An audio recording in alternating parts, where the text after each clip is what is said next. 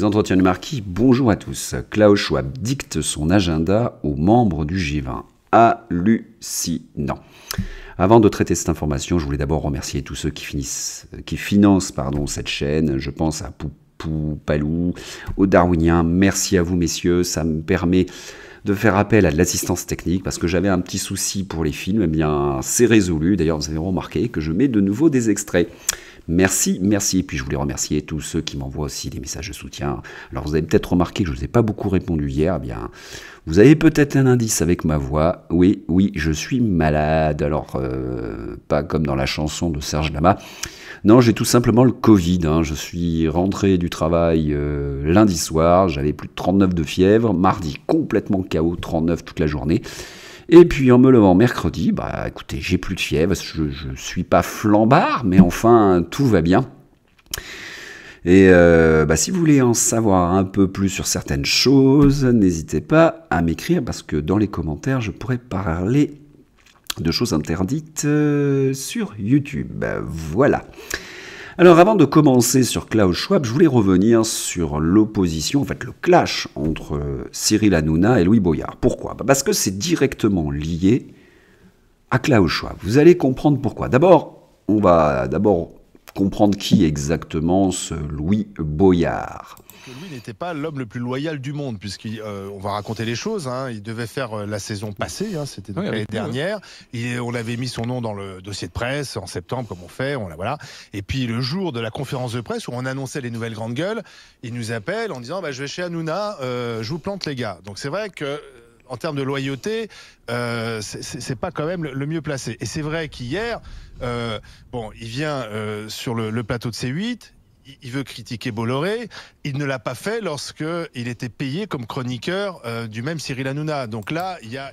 Voilà. Eh bien, nous avons appris quelque chose. En fin de compte, il a, il a, quitté les GG. Mais pour quelle raison il a quitté les GG bah, C'est simple, hein, pour 6700 euros. Il a il a refusé en fait de continuer essentiellement parce que Hanouna avait une meilleure exposition pour sa carrière et puis surtout pour cet ex-dealer, eh bien, ça gagnait beaucoup plus. Vous avez remarqué que Cyril Hanouna veut porter plainte, notamment parce qu'il l'accuse, Louis Boyard, de, ah, il accuse Hanouna de racisme. Alors, ça m'amuse beaucoup parce que quand Louis Boyard parle, on a l'impression que c'est un bon facteur pour, augmenter le racisme, mais bon. Alors, dans la presse maintenant, on a euh, le narratif de Louis Boyard, c'est feu sur Bolloré, et notamment sur le fait qu'il finance une partie de la presse. Alors comme le rapporte très bien Philippe Murer, on tape sur Bolloré, mais on ne tape pas sur les huit autres euh, milliardaires. Et puis aussi, on ne tape pas sur le financement d'Emmanuel Macron, à les subventions à cette presse aux ordres, hein, qui a raconté strictement n'importe quoi pendant la période Covid. Euh, tous ces éléments qui font en sorte que la presse de réinformation soit censurée en, sous sous prétexte qu'on n'est pas fréquentable, eh bien, on nous empêche de donner des informations capitales. Alors, Bolloré, c'est clair, c'est pas un saint. Quand on regarde d'ailleurs sa fiche Wikipédia et puis quand on relit les articles, il a été condamné une multitude de fois en Afrique et d'ailleurs, il a quitté progressivement ses activités euh, africaines parce que justement, il a été repéré par des ONG. Alors, quand on nous explique que grosso modo c'est Bolloré qui a fait venir euh, les migrants, parce que comme on a pillé leur pays, ils n'ont plus de boulot, ils viennent, eh bien là, cela s'appelle évidemment un... Euh, c'est une théorie du complot, ni plus ni moins, hein. on cherche un bouc émissaire, parce que lorsqu'on regarde exactement quelles sont les compositions des migrants, hein, clandestins, etc., eh bien ce sont surtout, surtout des gens du Maghreb, hein. donc rien à voir avec la Côte d'Ivoire, le Gabon ou le Cameroun, ou Bolloré à ses activités. Et puis il y a aussi une chose que ces gens oublient de dire, c'est qu'à partir du moment où Bolloré quitte l'Afrique, qu'il le remplace. Faut pas croire que d'un seul coup, ça y est, euh, ça va être euh, toutes ces entreprises qui vont devenir nationales. Non, c'est remplacé par des Chinois ou des Américains. Alors, la chose que je trouve terrible, c'est que forcément, la France insoumise tape toujours sur les chefs d'entreprise français, jamais sur le, grand capital mondialiste, peut-être parce qu'ils se font aussi financer par ces gens-là. Alors, ce qui permet d'ailleurs, alors comique pas drôle, hein, je pense à ce monsieur qui nous explique ni plus ni moins que Bolloré, en pillant l'Afrique, il paye des fachos. Ah, en pillant l'Afrique, il paye des fachos. Ah, Rire gras, c'est l'humour de France Inter. Alors, pour un journaliste de France Inter, tous les gens qui ne pensent pas comme eux sont des fachos. Par contre, lorsqu'il y a des antifas qui cassent la, gueule à des des, gens qui distribuent des tracts, par exemple, de 75 ans, là, tout va bien. Euh, lorsque les antifas agressent euh, des militants politiques, tout va bien, là, il n'y a aucun problème. Lorsqu'il y a des activistes qui balancent des sauts de peinture sur des œuvres d'art, là, aucun problème. Donc, ils sont contre la pluralité de la presse, et ce que veut France Inter, c'est tout simplement qu'il y ait une vérité officielle. Ils sont la sainte vérité, sainte vérité qui nous vient du World Economic Forum, qui nous vient de la presse aux ordres, hein. c'est une véritable doxa, et celui qui n'est pas dans cette doxa, c'est un horrible fasciste. Bon, on a bien compris que les vrais fascistes, c'est certainement pas la presse de réinformation, parce que nous militons justement contre la censure et pour la liberté. D'ailleurs, on va un petit peu dire à ces gens euh, leur responsabilité. Parce qu'il y a un très bon article dans le Die Welt, un journal allemand, alors je m'excuse pour mon accent, je ne suis pas germanophone, qui est assez long, vous pouvez le trouver euh, sur euh, mon fil Twitter, alors j'en ai mis quelques passages, mais c'est surtout la deuxième partie qui m'a intéressé, parce que, pardon, c'est que, en fin de compte, ces ONG se conduisent comme des mafias. C'est-à-dire qu'ils arrivent à espionner la marine grecque et pour faire passer des migrants, c'est-à-dire qu'ils vont à l'encontre de la souveraineté des nations, et notamment de la Grèce et de l'Italie. C'est pour cette raison qu'ils ont été euh, la main dans le sac plus d'une fois et qu'ils ont été condamnés. Hein, il y a, notamment, il y a eu des Allemands qui ont été condamnés. Donc, quand on nous explique que ce sont des chevaliers blancs, euh, hein, on voit bien que ce qu'ils font n'a rien d'admirable. Et puis cette presse aux ordres, eh bien quand elle lit ce genre de, hein, c'est quand elle voit ce genre de choses, elle trouve ça formidable. Hein. Tous nos écologistes, euh, comme euh, Sandrine Rousseau, elle nous explique qu'il y a une telle violence du climat, que c'est pas pour une toile. Là, on a affaire à un Klimt, hein. on a affaire à un tableau d'un des plus grands peintres du XXe siècle. Et puis, comme dit Aldostérone, hein, toujours les mêmes, blancs, post-chrétiens, maigres, cuits, faibles. Vous imaginez que ces gens attaquent des tableaux, c'est-à-dire qu'ils font essentiellement pression sur les populations occidentales, jamais sur les gros pollueurs de la planète. Nous les connaissons sur cette chaîne, nous les avons dénoncés plus d'une fois, c'est la Chine, l'Inde, en fait, généralement tous les pays qui sont en voie de développement. Alors, on pourrait se dire, oui, mais on a dépensé 3600 milliards, euh, ça a aidé quand même. Euh, hein eh bien, regardez, fin 2021, l'ensemble des combustibles fossiles représentaient 81% de la consommation d'énergie. Il y a 10 ans, ils étaient à 82%. Les 3800 milliards de dollars d'investissement dans le renouvelable ont fait passer les fossiles de 82% à 80% de la consommation énergétique. Voilà, bon, bah, il n'y a pas grand chose à dire, hein. on est vraiment dans l'arnaque, mais ce qui me choque le plus, en fait, c'est qu'il y a une culpabilisation, et cette culpabilisation est reliée par l'ensemble de cette presse aux ordres. Regardez cette, nouvelle qui est passée dans France Info. Les médias ont une très lourde responsabilité en propageant cette atmosphère délétère, et sans donner la parole à ceux qui proposent des solutions pragmatiques. Une France sans enfants, c'est une France qui disparaît. Par contre, on va faire en sorte d'accueillir des migrants. Voilà, c'est ça. On vous dit ne faites plus d'enfants, mais il faut accueillir des migrants.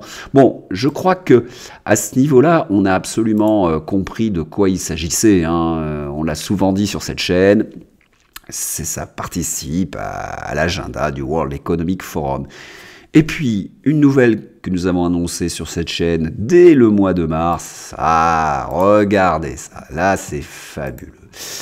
Eh bien, pour une baguette de pain, 150 grammes de CO2.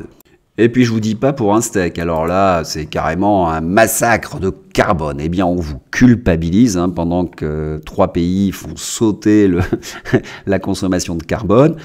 Pourquoi? Eh bien tout simplement cette culpabilisation, c'est pour vous obliger à accepter un pass carbone. Voilà, c'est BFM qui balance ce joli reportage, hein, qui est une ignominie totale. On vous explique, oh là là, c'est fabuleux le passe carbone, on va pouvoir vérifier sa consommation. Nous, avons nous sommes un pays où la production de carbone est assez faible par rapport aux autres, mais on culpabilise les plus faibles et puis on fait en sorte que ceux qui ont le moins d'argent seront les premières victimes de cette, euh, de cette politique. Il ne faut pas se leurrer. Or, moi, ce qui me gêne, c'est que le gouvernement va mettre en place manifestement le passe carbone. Hein, euh, j'en parlerai dans un instant pourquoi, mais eh ben, vous aurez la France insoumise, vous allez voir. Ils vont vous dire formidable. Et ils vont même critiquer le gouvernement parce que ça ne va pas assez loin, que ça ne sera pas assez répressif. Hein, ils nous font le coup à chaque fois. Et puis, je voulais quand même vous montrer comment on se moque de vous. Des millions d'euros du plan de relance pour l'économie française suite à la pandémie de Covid-19 ont été utilisés pour créer des centres d'accueil pour les migrants. Les chômeurs apprécieront le niveau d'escroquerie de ce gouvernement. Hein. ça a été dénoncé par un député. Bon, voilà. Quand on fait le bilan de tout ça, eh bien, on nous impose le narratif Sauvons la planète avec tous les sacrifices qui vont aller avec, et particulièrement pour les gens les plus modestes, pendant que bah, les gens qui ont un bon niveau de revenu échapperont à tout cela parce que ils pourront toujours s'offrir euh, des bonus de carbone, hein, il ne faut pas se leurrer. Alors cela vient d'où cette politique? Eh bien, à Bali, voilà qui arrive. Klaus Schwab avec euh, Ardem, évidemment, la première ministre, néo-zélandaise, et ce monsieur va prononcer un discours hein, où il nous explique eh bien, que la profonde restructuration systémique et structurelle de notre monde doit être mise en place. Hein.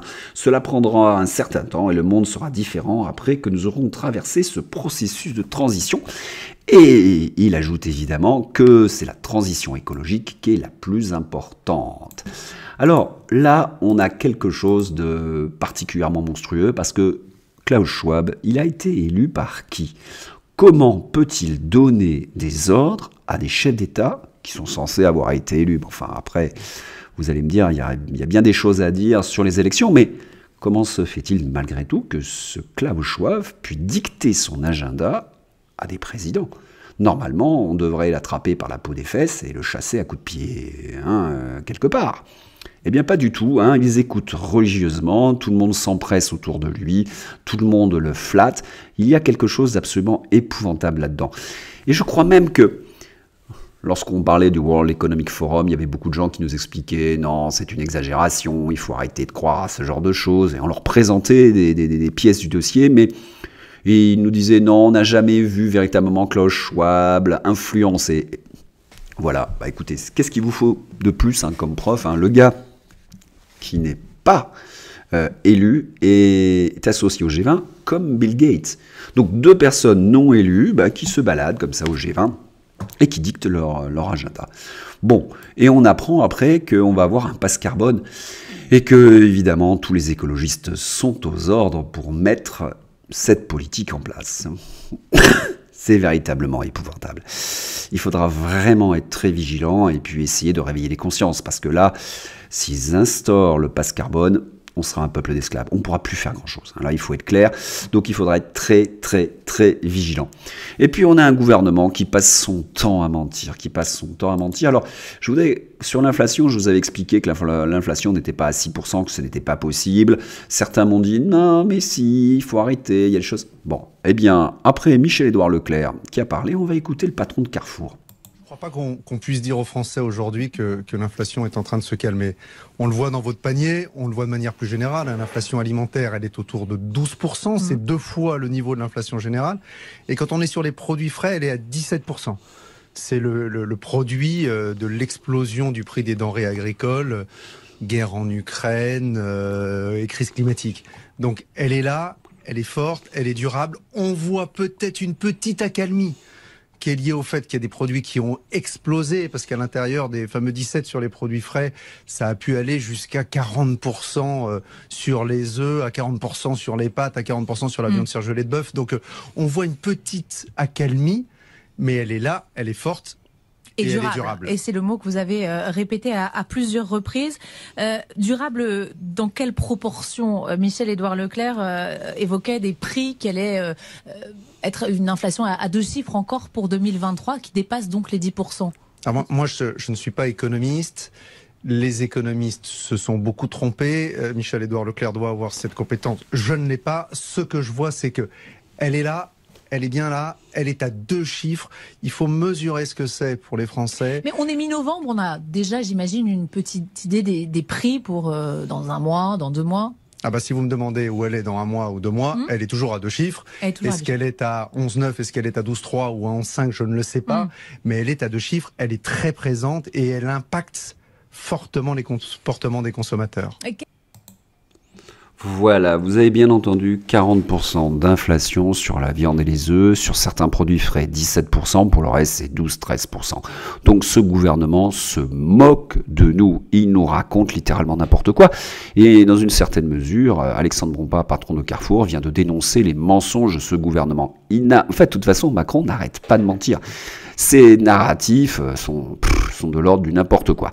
Alors, je voulais traiter dans cette vidéo le scandale FTX, Kerson, la politique américaine, je crois que j'en suis pas véritablement capable pour tenir encore 10 minutes, j'ai de plus en plus mal à la gorge, donc ça sera pour demain. Merci de m'avoir écouté et puis d'avoir été un petit peu tolérant parce que là, ça devient de, vraiment de plus en plus compliqué pour parler. Merci à vous.